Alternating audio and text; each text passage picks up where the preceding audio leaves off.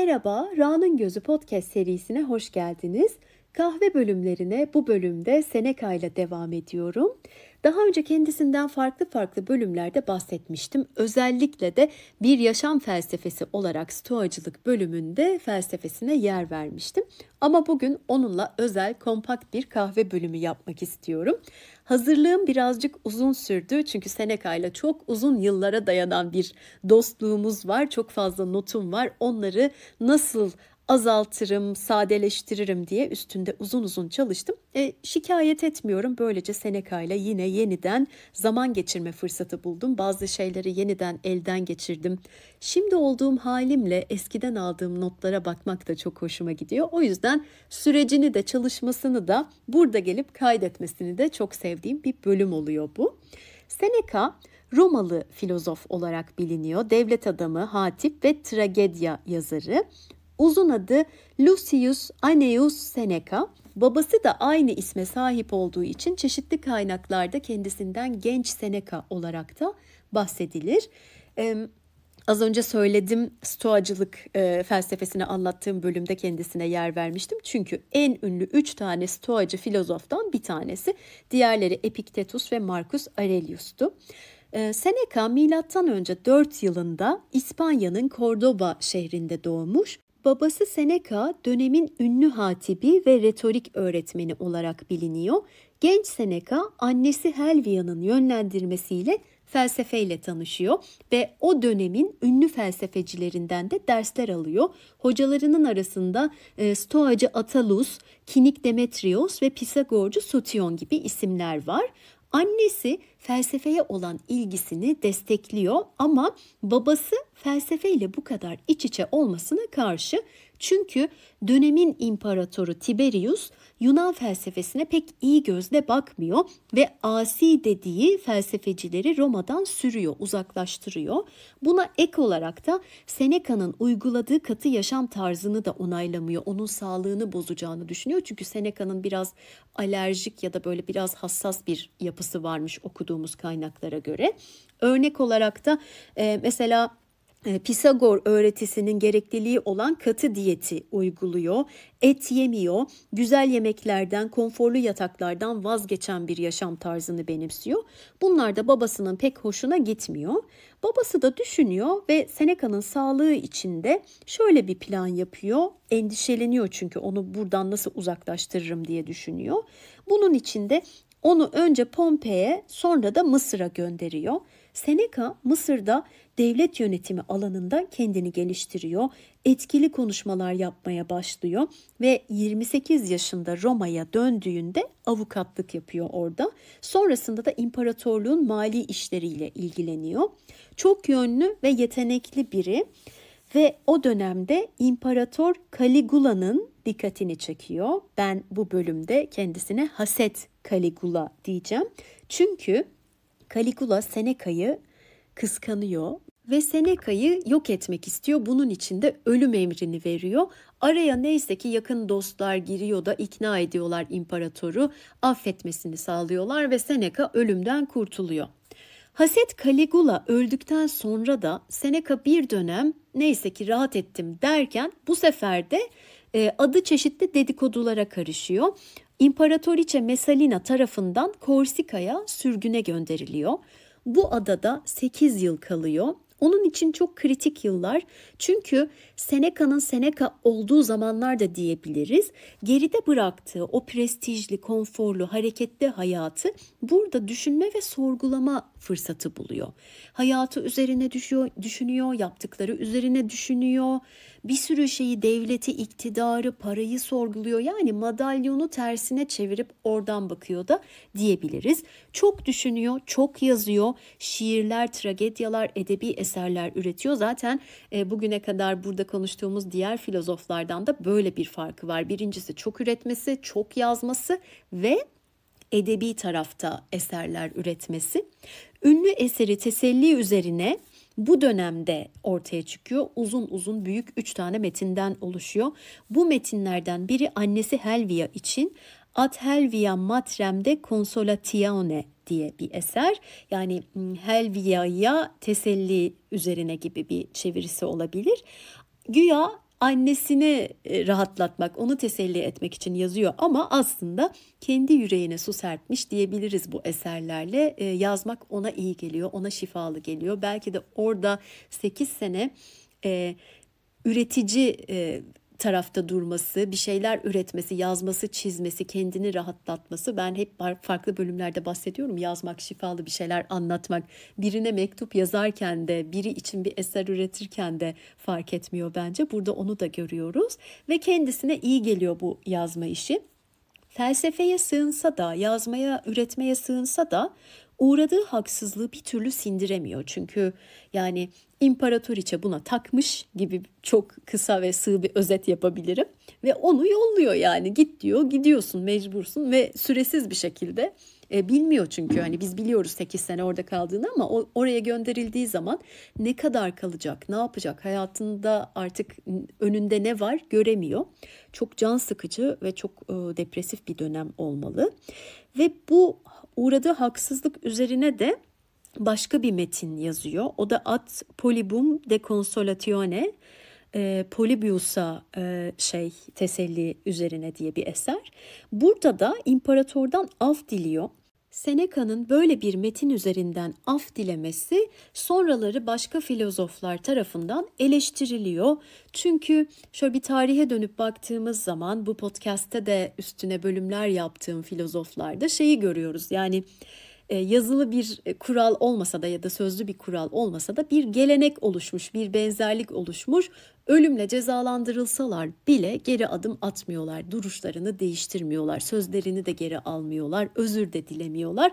Ama Seneca pratikte bunun e, tersi bir şekilde davranıyor. Şimdi ben onları da anlıyorum. Yani bu söylediğimiz benzerlik ve gelenek doğu, batı, geçmiş, gelecek karışık bir şekilde karşımıza çıkıyor.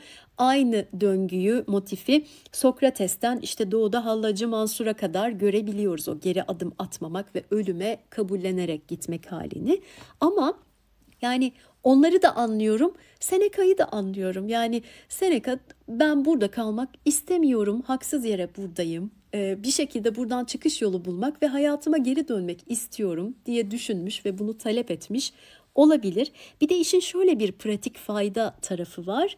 E, tabii ki kimsenin iradesine karışmak, e, yargılamak falan gibi değil ama e, ben çok isterdim Sokrates 30 yıl daha yaşasın. Hani onun 30 yıl daha yaşadığı dönemle ilgili ben bir şeyler okur, okumak, dinlemek, bir şeyler öğrenmek isterdim. Yani değerli, faydalı insanların ömrünün uzun olması e, isteyeceğim, tercih edeceğim bir şey. Seneca kendisi için de bunu istemiş olabilir. Sonrasında da bundan yıllar sonra Messalina'nın ölümü ardından Roma'ya dönüyor nihayet. Messalina'nın yerine geçen Agrippina oğluna ders vermesi için Seneca'yı Roma'ya getirtiyor. Oğlu dediğim de Neron. Evet, o deli olan. Neron tahta geçince Seneca da devlet yönetiminde yetki sahibi oluyor. Çok güçleniyor o dönemde. Ama Neron gitgide delirip zihin sağlığını kaybediyor. Asıyor, kesiyor, zehirliyor, istediğini yapıyor. Böyle çok despot, diktatör bir şekilde ilerliyor. Seneca bir anda yalnız kalıyor. Yani aklı başında böyle bir devlet yönetiyor bir haldeyken etrafı dal kavuklar, dedikodu sarmalı, hırslar, entrikalar bunların arasında sıkışıp kalıyor. Bu duruma daha fazla katlanamıyor ve görevinden ayrılıyor. Seneca yönetimden çekilince Neron freni patlamış bir şekilde vahşete devam ediyor. Dümdüz gidiyor. Seneca ise kendini tamamen felsefeye veriyor bu dönemde. Doğa araştırmaları ve ahlak mektuplarını da bu dönemde yazıyor. Ama yine rahat edemiyor. Bu sefer adı imparatora karşı düzenlenen bir suikast iddiasına karışıyor. İmparator tarafından intihar cezasına çarptırılıyor. İntihar biçimi de Seneca'ya bırakılıyor. Öyle bir cezaymış bu. Yani sana intihar cezası veriyorlar ve sen intihar ediyorsun. Çeşidini de seçiyorsun. Bundan sonrasını detaylı bir şekilde anlatmayacağım. Trajik, kötü bir şekilde, e, muhtemelen de çok haksız bir şekilde ölüyor, öldürülüyor diye, diyebiliriz. Ve ama yani ben böyle hala kaç e, zaman sonra birkaç bin zaman sonra e, böyle konuşsam da Seneca aynen Sokrates gibi bununla okey. E, bu açıdan tutarlılığın vücut bulmuş hali diyebiliriz. Hani o stoacılıkta e, ideal zihin durumu dediğimiz şeyin dinginlik olması, sabır ve acı, acılara dayanma hali olmasını gerçekten bunun vücut bulmuş halini e, karşımızda görüyoruz gibi düşünebiliriz. Seneca bununla okey. Zaten felsefesi gereği de dinginliği, iç huzuru tamamen kendi dünyasında buluyor. Dışarıya değil, kendine bakıyor. Bununla da çok uyumlu bir hayat yaşadığını söyleyebiliriz. Şöyle demiş, çok zor ki tüm insan ırkının zararsız olması dileğinde bulunuyorsun. Dahası bu kötülüklerin yapılmaması zaten kötülüklerden etkilenmeyecek olan bilgelere değil, onları yapmaya niyetlenenlere yarar sağlar. Yani bana hiç kimse bir şey yapamaz. Ben etkilenmem zaten diyor. Bilgeyi bunlar etkilemez. Ama yapması ya da yapmaması o kişiyle ilgili bir şey. Ve devam ediyor. Bilgeliğin sıkıntıların arasında sakinlikte sergilendiğini biliyorum. Tıpkı güçlü bir generalin düşman topraklarının ortasında sessizlik ve güven içinde durmasının onun gücünün en büyük kanıtı olması gibi. Bu arada filozof Stilbon'a da referanslar veriyor. Milattan önce 4. yüzyılda Makedonya kralı Demetrius Stilbon'un şehrini yağmalıyor. Her yeri yakıyor, yıkıyor. Adamın elinden dışarıdan bakan için her şeyi alıyor. Ve karşısına çıkıp bir şey kaybedip kaybetmediğini, kaybının ne olduğunu soruyor ve Stilbon sakince diyor ki hayır kendimle ilgili her şey benimle birlikte. Bu cevapla birlikte kralın zaferini elinden aldığı söyleniyor tarihte. Ve şöyle devam ediyor Stilbon. Kendini bir fatih, beni de fethedilmiş zannetmen için hiçbir sebep yok. Sadece senin talihin benimkine galip geldi. Sahibini değiştiren o geçici şeylerin şimdi nerede olduğunu bilmiyorum. Ama bana ait olan şeyler hala benimle birlikte ve sonsuza dek de öyle olacak zaten daha güzel anlatılamazdı. Yani şey yorumuna katılıyorum. O adamın zafer sandığı şeyin elinden bu sözlerle alınmış olduğunu düşünüyorum ben de. Şimdi burada belki Seneca'nın talih tanımına da bakmak iyi olabilir. Ona göre talih insana kendisine ait olmayan şeyleri veren, dışarıdan gelen şeyler aslında.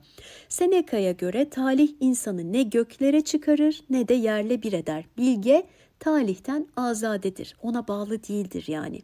Ama bu sana talihin getirdiği şeylere sırt çevirmek anlamına da gelmiyor. Onları reddetmiyorsun. Yani e, işte mal, mülk, şans, e, para neyse artık onların keyfini çıkarabilirsin. Onları kendi yolunda kaynak olarak kullanabilirsin. Sırtını çevirmene gerek yok. Sadece onların kölesi olmamaktan bahseder. Şöyle diyor, bilge rastlantısal şekilde talihin önüne koyduğu hediyeleri hak etmediğini düşünmez. O serveti sevmez ama ona sahip olmayı tercih eder. Burada serveti se- sevmez derken sevgi hani ona böyle büyük bir aşkla bağlanmaz anlamında kullanmış. Onu ruhunda değil evinde ağırlar ve ona sahip olduğunda onu reddetmez. Aksine onu tutar ve erdemini besleyecek bir imkan olarak görür. Yani ona sırtını çevirme kaynak olarak kullan. Felsefen için, yolun için, erdemlerini işte hayata geçirmek için gayet böyle mantıklı, pratikte uygulaması da uygun olan bir şey. E, şimdi bu bence bir yandan da e, madde, varlık, para üzerine de muazzam bir bakış açısı. Hatta bolluk, kıtlık, bereket e, tarafından baktığımız zaman da çok güzel bir şey. Hani o senin e, işte sahip olduğun bir şey. Sen ona ait değilsin. O sana hizmet etsin. Para sana hizmet etsin. Mal sana hizmet etsin. İşte imkanların neyse artık sahip olduğunu düşündüğün, sana dışarıdan verilen o talih dediğimiz şeyin sana hediye ettiği her şey sana hizmet etsin. Bir de bunları aslında sınav olarak görüyor. Hani bir söz vardır ya Tanrı verir sınar, alır sınar. Aslında Seneca'nın da başına gelen, insanların başına gelen şeylere bu sınav gözüyle bakma yaklaşımı var. E, zenginliğe, imkanlara sahipken ya da onlara sahip değilken sen kim oluyorsun? Nasıl dönüşüyorsun? Nasıl davranıyorsun? O özündeki şey değişiyor mu ya da özün sandığın şey yer değiştiriyor mu? Ona bakmak için aslında bir fırsat. Ve şöyle demiş bu konuda. Zenginliğin bende nasıl bir yerde durduğunu mu soruyorsun? Zenginlik gittiğinde benden kendisinden başka bir şey götürmez. Oysa sen onu kaybettiğinde afallayacaksın ve ondan yoksun kaldığını hissedeceksin. Zenginliğin bende bir yeri var ama senin için onun yeri en yüksek noktada. Sözün kısası ben zenginliğe sahibim, sen ise zenginliğe aitsin. Bu son cümle çok vurucu. Yani o hani kullanma yasasının aktif olabilmesi için senin bir şeye sahip olman lazım. Onun kölesi olmaman lazım. Kim kime hizmet ediyor sorusu çok güzel işler burada. Aklıma bu soru ya da bu konular geldiği zaman hayatımın farklı zamanlarında yaşadığım yerlerde karşıma çıkan farklı insanlarmış gibi görünen ama aynı hikayeye sahip olan üç tane adam geliyor aklıma. Üçünün ortak noktası yani şimdi cinsiyetçiliğe girmesin ama üçü de erkek tesadüf olabilir.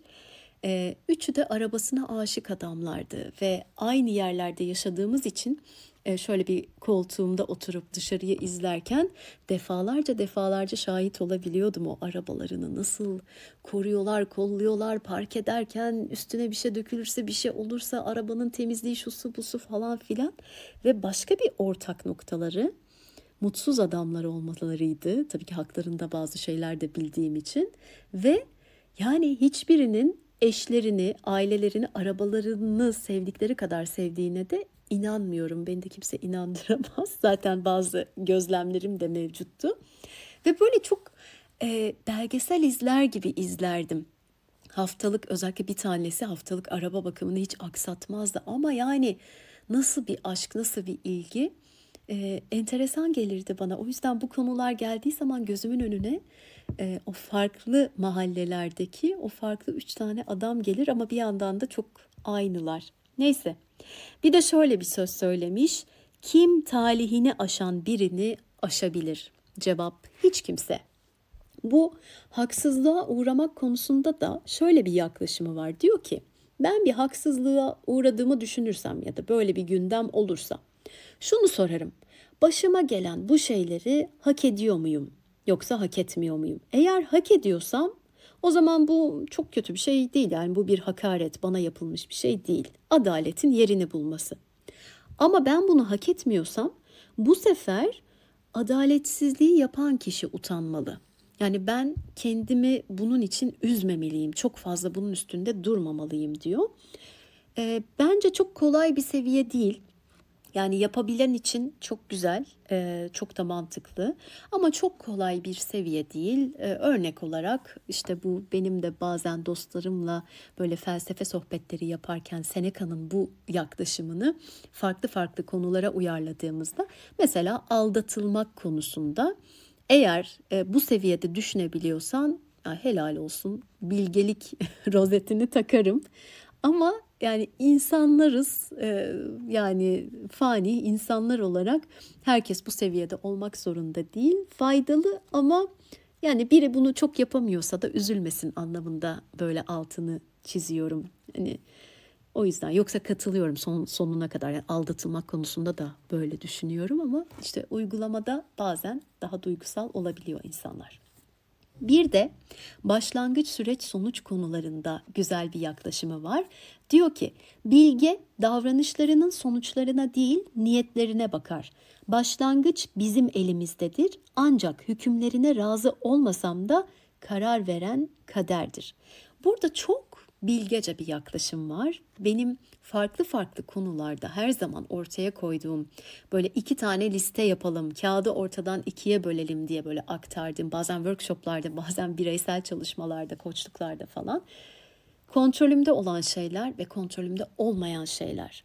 Kontrolümde olmayan şeylerle ilgili korkular, kaygılar, üzüntüler, işte sürekli söylenmeleri bir kenara bırakıp kontrolümde olanlarla zaman harcamak, onlara enerji yatırımı yapmak gibi benim de çok işe yaradığını düşündüğüm ve şahit olduğum bir yaklaşım bu. Bu bakımdan insanı rahatlatıyor.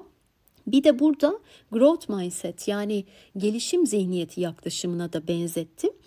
O sen başta sonuçların esiri olma. Her şeyi sonuçlarla, rakamlarla, işte skorla ölçmek ya da şimdiden daha başlamadığın şey için kaygılanmak yerine sen şu an ne yapabiliyorsun?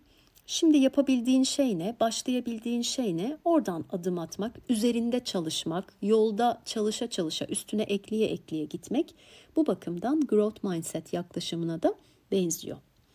Şimdi bu e, acılarla ilgili de kendin için katlanılmaz olanı katlanır hale getir diye bir sözü var. Burada kendi üzerinde çalışmak söz konusu. İkiye ayırabilirim. Birincisi o acıyı değiştiremezsin. Yani başına gelen şeyi değiştiremiyorsun. O başına geldi. Kendini güçlendirebilirsin, ruhunu, zihnini esnetebilirsin, daha geniş bakabilirsin, daha büyük resimden bakabilirsin. Bir de o dünyaya siyah beyaz bakan gözlüklerini çıkarıp renk paletine dönebilirsin. Yani bu oldu ve dünya çok kötü. Ben çok kötüyüm. Her şey çok kötü. Bu başıma geldi ve her şey siyah oldu bakışından rengarenk bir yerdeyim. Siyahın da beyazın da farklı tonları var. E, gri'nin binlerce tonu var. Böyle bakarsam bu söylediği şeyi o acının daha katlanılabilir hale gelmesini aslında acı değişmiyor ama sen değişiyorsun. Sen onun karşısında farklı bir duruş alıyorsun. E bunun içinde diğer e, filozof bölümlerinin de ortak noktası olan kendi üzerinde çalışmak zorundasın. Seneca De Vita Beata eserinde kendine göre mutlu yaşamın sırlarını şöyle anlatmış. Çok minicik bir özet, üç tane maddeyle söylersek hayattaki hedeflerini belirliyorsun. Sonra o hedeflere ulaşabileceğin yolları araştırıyorsun ve düzenli muhasebe yapıyorsun. Yani neredeyim, ne yaptım, nereye kadar geldim, ne yol aldım ve önümde ne görüyorum böyle belli aşamalarda da dönüp kontrol etmek. Ee, aslında buna bir proje yönetimi 101 de diyebiliriz. Özellikle bu muhasebe kısmını ben çok seviyorum. Çünkü bazen yolda bir sürü şey değişiyor. Sen değişiyorsun. Hedefin değişebilir. Bunun da farkına varmak ve dümdüz gitmemek de harika bir e, seçenek olabilir. Ve geldik Seneca'yı kendime en yakın hissettiğim özelliğine kalabalık nefreti. Seneca kalabalık ortamlarda zaman geçirdikten sonra kendini çok kötü hissediyor ve sadece his olarak değil şey diyor e, böyle ortamlara girdikten sonra kendimi daha kötücül, daha aç gözlü bir insan olarak görüyorum diyor. O kadar ileriye götürüyor ve İnsanların arasına karıştıktan sonra mutlaka yalnız kalıp içine dönme ihtiyacı duyuyor.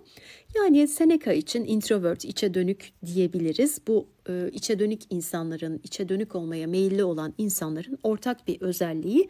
Çünkü kalabalık ortamlarda böyle çok sosyal, çok aktif, çok programlı falan böyle ortamlarda e, bu insanların pilleri bitiyor ve tekrar daha normal, daha dengeli bir hale gelebilmeleri için e, tek başlarına kalmalı ve birazcık kendilerini kapat, kapatıp içe dönme ihtiyacı duyuyorlar.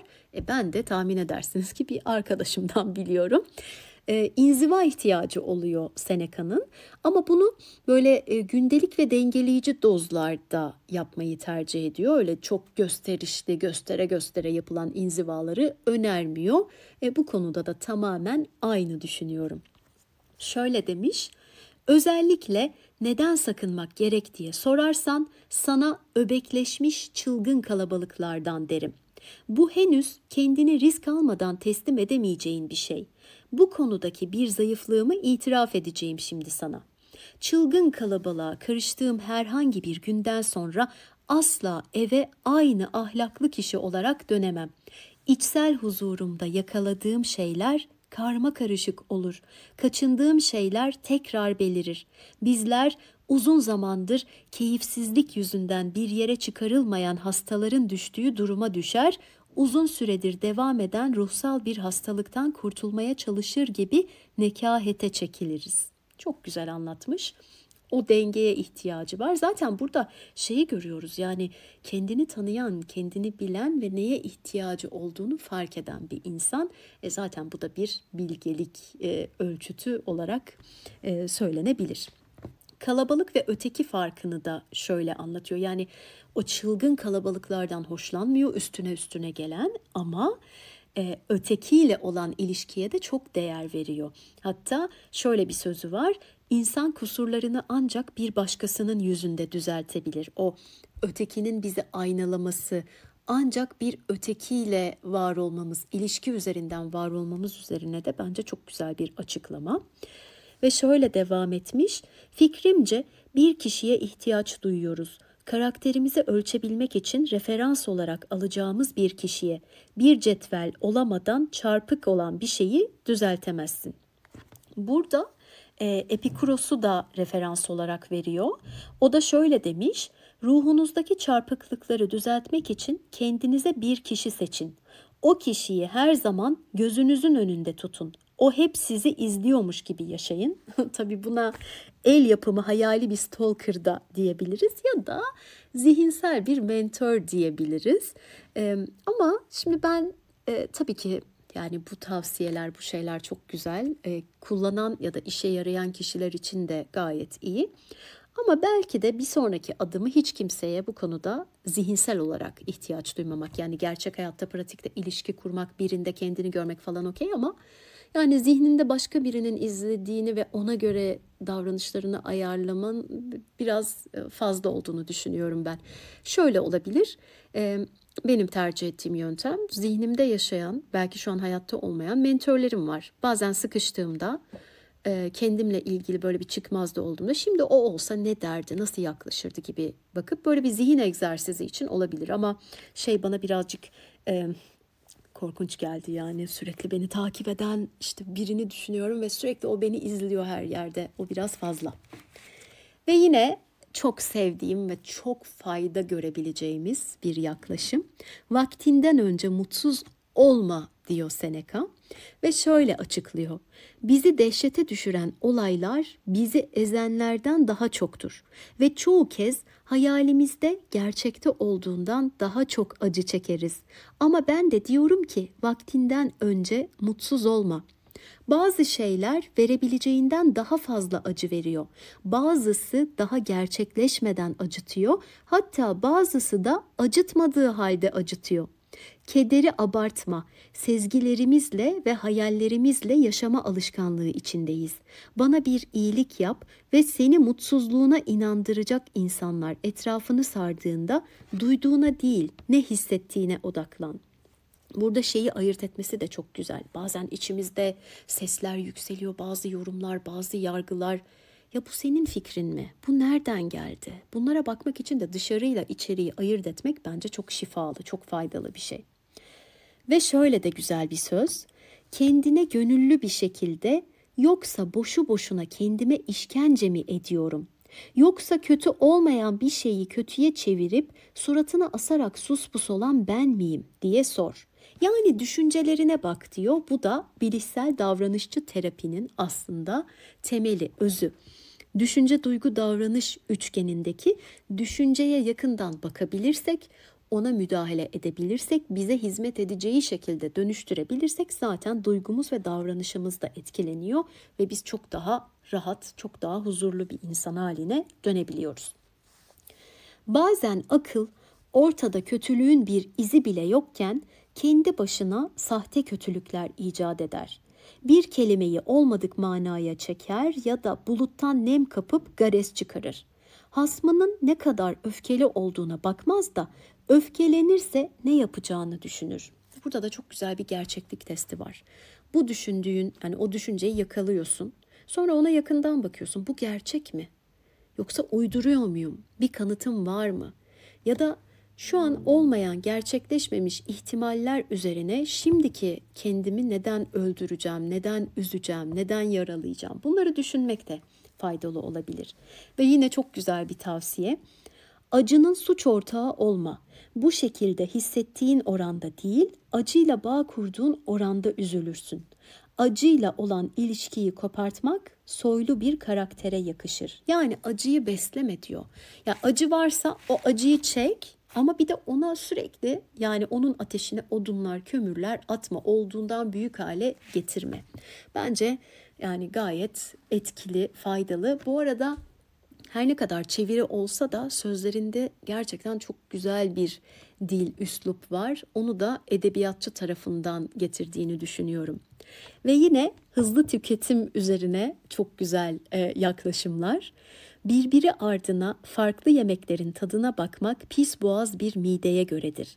Yenilenlerin birbirinden farklı olması ve çeşitlilik göstermesi seni beslemez, sadece mideni bozar. Şimdi yemek üzerinden söylemiş ama bunu çok genel bir felsefe olarak da e, sunuyor bize. Oradan yemeği çıkar, onun yerine seyahat, gezi, film, kitap, dizi, flört, aklına ne gelirse koyabilirsin. Yani böyle seri bir şekilde. Sürekli oradan oraya, oradan oraya, oradan oraya. Yani e, insanın eline de bir şey geçmiyor, ne yaşadığını da anlamıyor. Bize önerisi çapalanmak, işte demlenmek ya da sindirim e, diyebiliriz. Buna zaman vermek. Şöyle demiş, ruhunda kalıcı ve sağlam bir şeyler bırakmak istiyorsan ve bunlara çapa atarak uzun süre beslenmek istiyorsan dehası tartışmasız olan yazarların fikirlerinde daha uzun zaman geçir her yerde olan hiçbir yerde değildir. Tüm yaşamını konar geçer geçiren insan misafirperverlik bulur ancak gerçek dostluk bulamaz. Yani burada zaten inanılmaz bence bir derinliği var bunun. Özellikle bu hani çapa atarak orada daha uzun zaman geçir üst üste, üstüne hiç düşünmeden, kendine dönüp bakmadan sadece okuyorsan, yani her hafta bir kitap bitiriyorsun, okuyorsun bitiyor, okuyorsun bitiyor ya da işte 10 tane belgesel izledin, film izledin. Sen sadece tükettin, çöpe attın, hiçbir şey hatırlamıyorsun, sende bir şey uyandırmadı, dönüp bakmadın. Yani senede bir tane kitap okusan ama hakkını vererek okusan, üstüne düşünsen, altını çizsen, defterine notlar alsan, bir arkadaşınla onun üzerine konuşsan ve bunu 12 aya yayarak yapsan 12 ayda 50 tane böyle seri kitap okumandan daha faydalı olur diye düşünüyorum. Bunu sadece kitap için değil birçok şey için düşünüyorum. Şey sözü de bana her yerde olan hiçbir yerde değildir sözü de bana Teoman'ı hatırlattı. Teoman'ın çok sevdiğim Zampara'nın Ölümü şarkısında şöyle bir şey geçiyordu bir şey söyledi ki bence de doğru bir bar filozofu çok kadın hiç kadındır oğlum yalnızlıktır sonu çok şarkı da çok güzel sözleri de çok güzel hatta şöyle devam ediyordu ay şu an söylememek için tutuyorum kendimi ama çok şiirsel söyleyeceğim kadehte yansımama baktım ayaklı bir kanıttım kadın dergileri testlerinde her soruya yanıttım yani burada da Teo için şunu diyebilirim. En azından kendini biliyor. Bu da bir şey bak. O kendini bilmek. Geldik, döndük, dolaştık. O Delphi'deki Apollon tapınağına her bölümde olduğu gibi bu bölümde de geldik yani. Bu da bir istikrardır. Bu da bir başarıdır. Çünkü neden? istikrar mucizedir. Son olarak şu sözüyle kapatmak isterim. Felsefe kendi krallığında sürdürür saltanatını. Kendi zamanını kendi belirler ve randevu beklemez. Boş zamanların meşgalesi değildir. Her günün konusudur. Düzenli bir çalışmadır ve her an hazır olmanı ister. Yani boş zamanım kalırsa felsefe yaparım, okurum diyenler için hiç e, uygun bir yol değil. E, ben de bunun altına imzamı atmak isterim. Akma burada Gurdjieff de geliyor. Kendi üzerinde her gün çalışmak zorunludur der Gurdjieff de. Tek yoldur yani bunun başka bir seçeneği yok. Eğer yolumda yürümek istiyorum, erdemli olmak istiyorum, gelişmek istiyorum, zamanın ötesine geçmek istiyorum, kendimi aşmak, ruhumu esnetmek, tekamül etmek istiyorum, bunun da hakkını vermek istiyorum diyorsan her gün kendi üzerinde çalışmak zorundasın. Yöntem değişebilir ama yol değişmez diyerek bu bölümü burada bitiriyorum. Sonraki bölümlerde görüşmek üzere. Hoşçakalın.